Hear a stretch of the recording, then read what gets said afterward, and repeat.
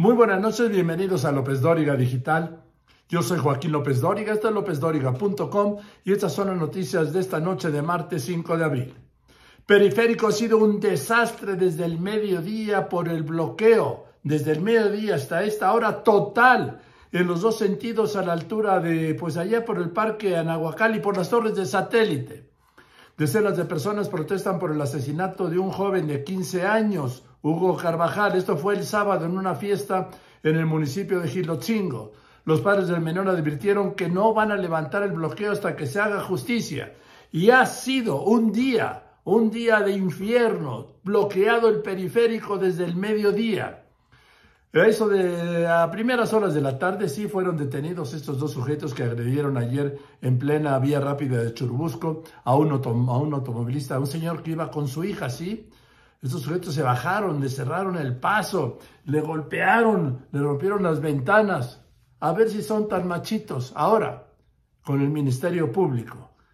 Indígenas purépechas atacaron las instalaciones de la Fiscalía de Michoacán en Morelia, incendiaron dos motocicletas de la Policía Estatal, protestan por el asesinato de cuatro de los suyos en el poblado, en un poblado sí, sin resolver hace cinco años.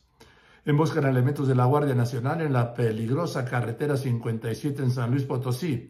Mataron a un alto mando y dejaron heridos a un agente. Así el crimen organizado. La Suprema Corte dejó para el jueves la resolución sobre la ley de la industria eléctrica, si es constitucional o no. En menos de 24 horas la Corte le ha dado dos reveses al presidente. El primero ayer, cuando eliminó los candados para que exfuncionarios esperen 10 años para trabajar en la iniciativa privada.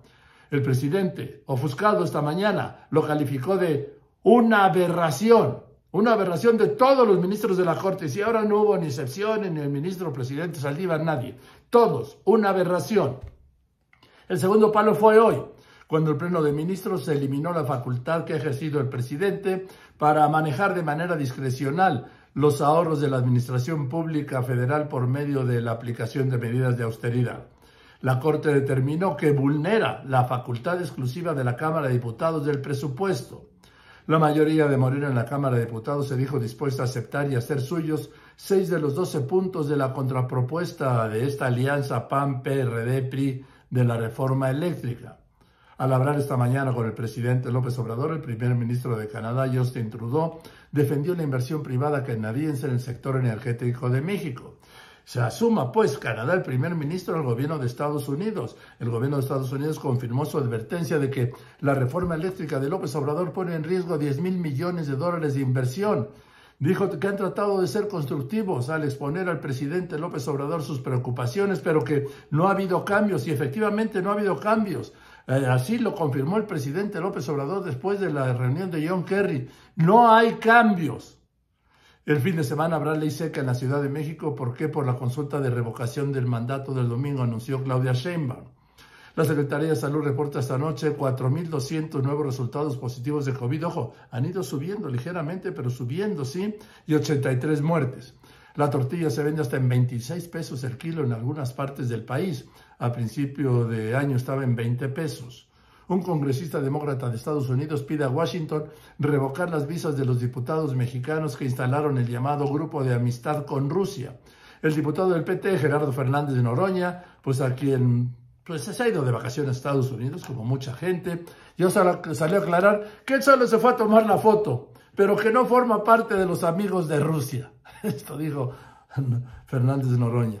El presidente ucraniano intervino ante el Consejo de Seguridad de la ONU tras visitar Bucha, en las afueras de Kiev, donde documentó una masacre de civiles que imputó a las fuerzas rusas.